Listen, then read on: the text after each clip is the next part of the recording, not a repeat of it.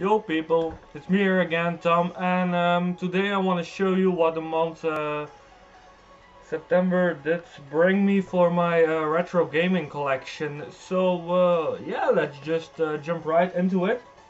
Um, of course, this was a must-have for me when it was released. It's like uh, the Super Nintendo, the uh, classic mini one. It, it has such awesome games, and it's basically a small USB stick with uh, games you can play on HDMI. But it's still a collector's item, so I'm really excited just to have it, you know. Um, this is the first one. Uh, the second one I uh, bought with some other stuff you'll see later in the video. But uh, it's the Game Boy Advance uh, in the color that I didn't have. I still I have one of those, but uh, I didn't have it in this color, and it was a really good deal I got on this one. So yeah, that's basically why I bought it. It was like kind of cheap, so yeah, what's good for me, I guess.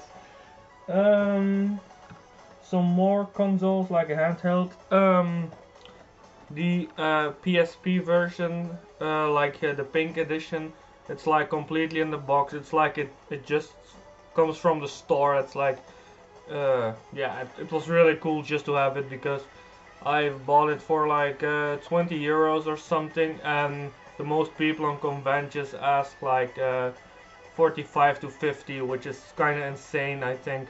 So yeah that's uh, a really good deal for me again.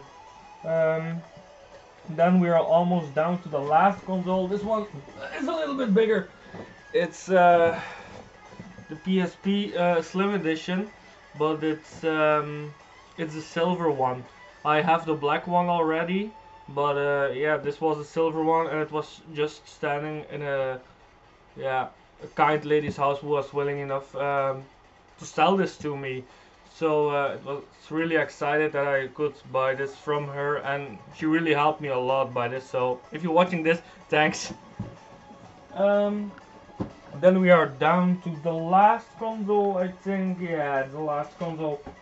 It's nothing really uh, special some friend of mine uh, who played it had it and uh, he was willing to sell for my collection. So it's uh, basically the black Nintendo DSi yeah really not much to say. The box looks like yeah just yeah brand new actually. Uh, so that was also really nice. Um, yeah, let's go to the PlayStation 4 now. Um, well I only have one game for the PlayStation 4 because um, yeah, it's just a sequel to an awesome game. It's actually the game Knack. I don't know if you guys uh, know it, but uh, Knack is from the people who created um, the Crash Bandicoot series. So that's actually quite amazing. It's really an amazing game. You should really check it out. It's it's kind of cheap, but it's really a really nice game. So make sure to check it out, of course. Um, Next up something I was searching for a really really long time but I couldn't find it like a decent price because most people ask like uh, 70 to 80 euros each. So uh, yeah, these beauties, you know, like uh, the Nintendo DSi, Pokemon Soul Silver and uh, the Heart Gold one, like the big boxes.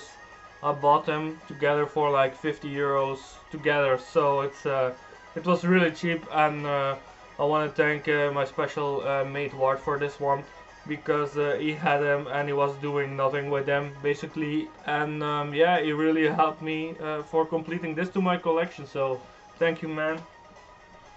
Uh, what do we have left? Oh yeah a few NES uh, games.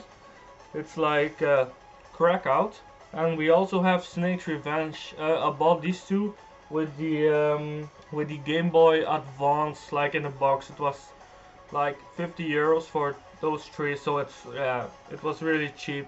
Mostly you don't find like these kind of beautiful uh, boxes for like a decent price so uh, thanks for this.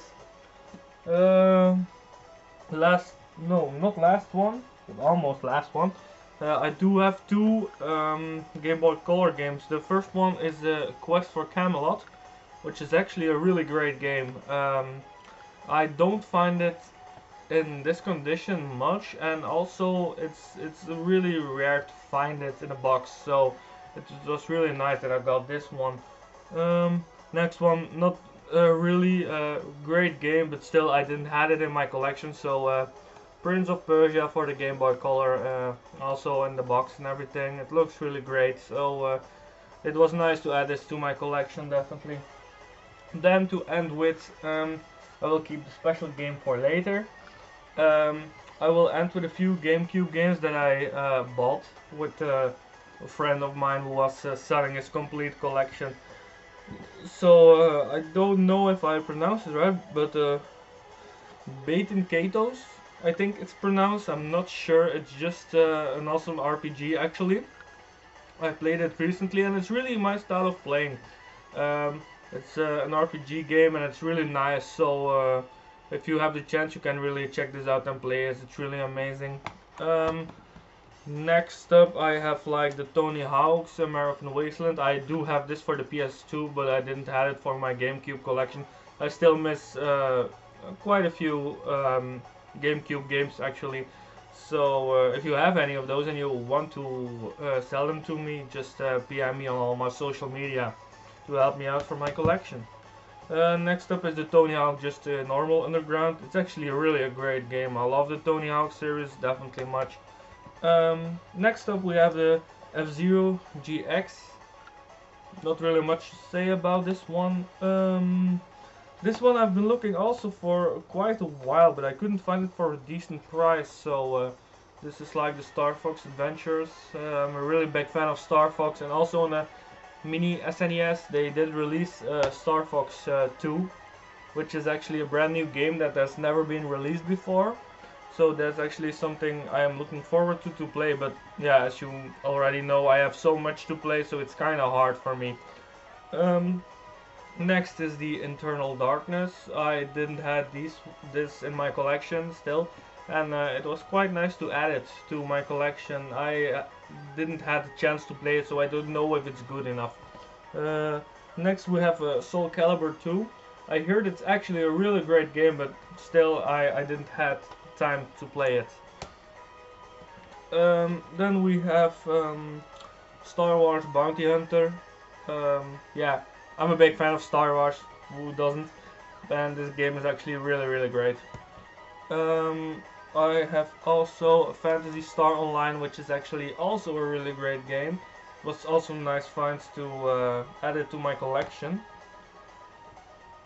Then I have uh, like a regular Donald Duck. I just hadn't in my collection. It was with the game lot, so I just yeah picked it up, you know. Um, then I have Worms Blast it's basically the same. I didn't have it in my collection and it was kind of cheap, so I just bought it.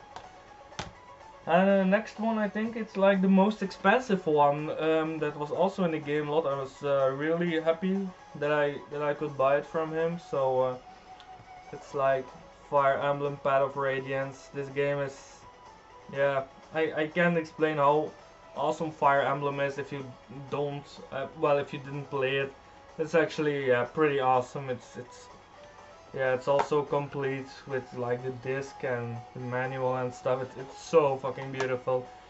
So, um, yeah, that's it for my pickup of the month uh, September, guys. I really hope you enjoyed it. If you enjoy it, you can uh, follow me on all my uh, social media live.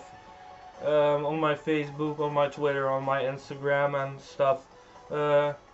So if you like this video, uh, you can always subscribe to my YouTube channel to help me out. You can also uh, click the like button uh, if you like what I do. So uh, thank you for watching and I will see you guys later. Bye!